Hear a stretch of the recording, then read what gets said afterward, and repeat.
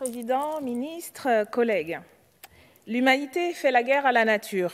C'est suicidaire car la nature répond toujours coup par coup et elle le fait déjà avec une force et une fureur de plus en plus grandes. C'est par ces mots qu'Antonio Guterres, secrétaire général de, des Nations Unies, a alerté la communauté internationale le 3 décembre dernier à l'occasion de la présentation par l'Organisation météorologique mondiale de son rapport annuel. Rapport alarmant, tout comme celui du Programme des Nations Unies pour l'environnement également publié la semaine dernière. Selon l'Organisation météorologique mondiale, 2020 est en passe de devenir l'une des trois années les plus chaudes jamais enregistrées. Le rapport du PNUE fait apparaître le grand écart entre la production de combustibles fossiles prévus avec les différents plans de relance et les niveaux de production mondiaux nécessaires pour limiter le réchauffement à 1,5 degré et à 2 degrés. Le projet de loi un peu fourre-tout, dont nous commençons l'examen en séance aujourd'hui, s'est saisi de l'obligation de transposition d'un règlement relatif au parquet européen pour créer des juridictions spécialisées en matière environnementale et réformer certaines dispositions pénales sanctionnées par le Conseil constitutionnel. Nous y sommes opposés pour deux raisons principales. D'une part, nous déplorons que la création de ce parquet consacre la, perte de souveraineté de la France en matière de répression des infractions financières, avec notamment le dessaisissement du parquet national financier ou des juridictions spécialisées à son profit.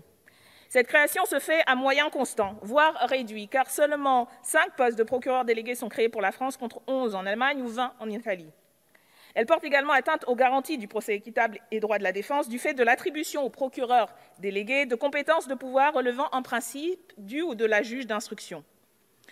L'analyse du statut de ces procureurs montre quant à elle qu'elle et ils ne respectent pas toutes les garanties d'indépendance et d'impartialité requises par la Cour européenne des droits humains.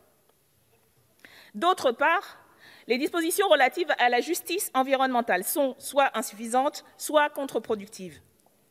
En cette journée mondiale du climat, alors que nous allons fêter samedi les cinq ans de l'accord de Paris, que les grèves et les marches pour le climat se sont multipliées ces deux dernières années, que les rapports du groupe d'experts et expertes intergouvernemental sur l'évolution du climat s'empilent sur les bureaux des ministères, la réponse que vous apportez avec ce projet de loi se résume malheureusement, de notre point de vue, à un effet de communication avec la création de juridictions spécialisées, mais sans moyens suffisants. Ce n'est pas de mots dont nous avons besoin pour faire face au changement climatique. Des mots qui seraient certes gravés dans le marbre de la loi, mais finiraient par rester lettres mortes. Il faut des actes, des politiques à la hauteur de l'urgence. Agir comme l'exige avec force et justesse la jeunesse du monde entier, qui a saisi la justice en portant plainte contre cinq États, dont la France, pour inaction climatique agir, car cela fait plus d'un demi-siècle que les scientifiques alertent sur la situation.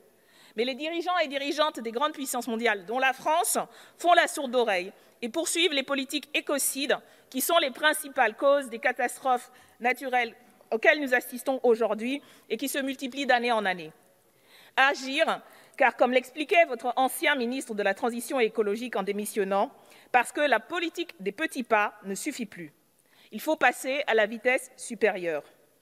Or, en créant de nouvelles juridictions spécialisées sans moyens supplémentaires, vous n'agissez pas en faveur de la justice environnementale, mais vous nous faites perdre à tous et toutes un temps précieux que nous n'avons pas. En introduisant, par exemple, la Convention judiciaire d'intérêt public aux infractions environnementales, vous n'agissez pas en faveur de cette même justice, mais vous laissez prospérer le banditisme environnemental en col blanc. Ce n'est pas en négociant des subsides auprès des gros pollueurs que vous récupérez les 600 000 milliards d'euros que coûte au niveau mondial le non-respect de l'accord de Paris. C'est par une condamnation ferme et des politiques publiques euh, volontaristes envers les criminels environnementaux qui devraient être sanctionnés par des amendes correspondant aux dégâts et aux préjudices causés.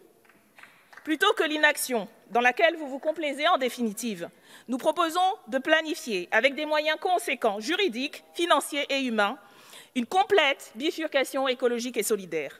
Par exemple, en octroyant les moyens humains et financiers à l'État et ses opérateurs publics, en pénalisant les mésusages et les gaspillages des biens communs comme l'eau, en protégeant les habitats et les espèces, bannir des pesticides, instaurer des zones tampons, lutter contre l'artificialisation des sols, gérer durablement l'eau, éradiquer la maltraitance envers les animaux en interdisant le glyphosate, les néonicotinoïdes et en rendant justice aux victimes de chlordécone dans les Antilles, en mettant fin aux accords commerciaux internationaux climaticides.